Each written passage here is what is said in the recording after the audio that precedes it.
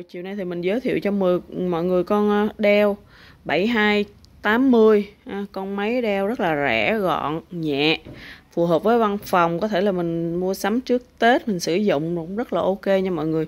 Máy này thì máy cũng nhiều nhưng máy này là gần Tết rồi thì đi ăn tất niên hơi nhiều á mọi người. Ra hai bữa nay mình không có lên video à, Tết thì nhà mình nội ngoại đều ở thành phố Hồ Chí Minh hết. Nếu mà ai mà mua máy thì trong thời gian Tết vẫn ok ha. Có thể tới nhà mình gọi điện trước. Có nhà thì tới để mà xem máy. Đây mình à, giới thiệu cho mọi người ha à, nó hơi trầy nhẹ đây hai chấm rất là nhỏ. Cái mặt này thì cái mặt nhung. Đó cái mặt nhung là nó giống như những dòng đeo latitude hoặc là những dòng mà x1 thinh bắc đồ vậy. Mọi người là thường thường đó là nó phủ nhung như vậy nè cho nên nó dễ thấm mồ hôi và nó chống trơn trượt á ha. Ừ, cho nên là thường thường vậy thì nó sẽ hiện ra những cái dấu sticker. Dù trước đây người ta sử dụng người ta hay dán á, thì um, lột ra rồi hay gì đó cái tem của Nhật hay cái tem của hãng rồi đó dán hay lột ra thì nó sẽ có cái dấu mờ mờ mờ mờ. Nhìn trực diện không thấy nhưng nhìn nghiêng ánh sáng cái độ xấu nhất khi mà mình nhìn là như thế này nè. Đây là mọi người cái cái hướng mà mình nhìn thấy xấu nhất là đây ha nó hiện. Còn đây thì không có thấy gì hết. À, mình sẽ báo cái giá rất là hợp lý. À, giá nó xấu như thế này để mà mọi người sử dụng trước Tết rồi rất là ok luôn á mọi người. À, cái phần này á, là cái phần nẹp um, in inox của gọi là nẹp nhôm á của của của đeo nhôm nha mọi người mới nãy mình nói lộn. Thì nó có mờ mờ sơn không trầy nha mọi người nó mờ sơn á. Đó, xíu chỗ này cũng nói chung cũng không mang thua nhiều nhưng máy rất là ok. Nhìn ở bề ngoài thì nó hệt cái con 7390 không khác xíu nào luôn. 7280 nó cũng hệt 7390 đều là nhẹ 1,2 kg gọn tiện và dễ đem đi lại ha. Màn hình 12.5 inch cái màn hình này á, là mình ờ, cái dòng này thì nó gọn nhẹ rồi mình tiện mình xách đi lại rất là ok luôn mọi người có thể gặp ra như thế này ha. Thể gặp gọi là người ta kêu gặp 180 độ đó. Phím thì phím đặc biệt là còn rất là đẹp. Đây mọi người nhìn không có thể là chê chỗ nào được hết trơn về phím. Đều coi i5 Gen 8 72 80 sử dụng văn phòng là rất là ok luôn dư sức luôn học online làm việc. Ừ nói chung là cái cấu hình này cấu hình văn phòng mọi người, Word, Excel thôi mọi thứ này nè, có webcam đồ đầy đủ hết ha.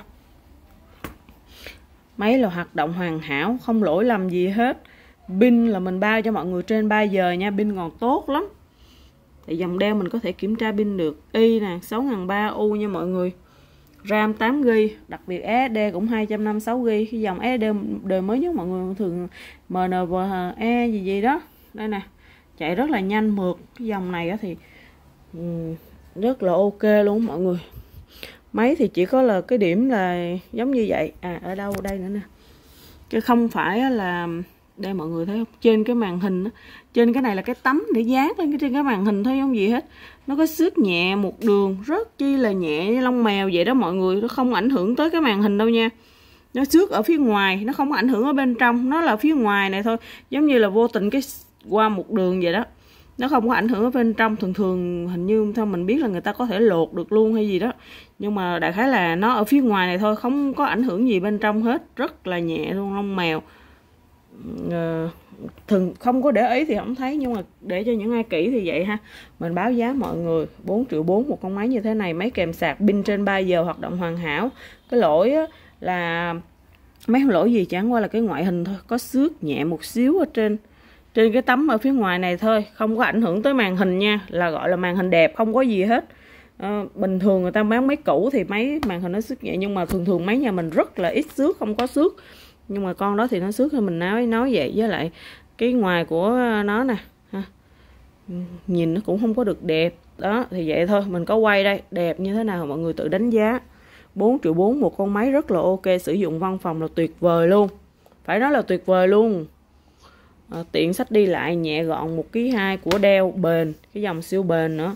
Mình sử dụng lâu ngày ví dụ như máy nó có hư cái này hư cái kia rồi thay rất là dễ lúc nào cũng có đồ và rẻ. Mà cái dòng máy thì lại đẹp mà cái dòng nổi tiếng bền nữa. Ha mọi người ha.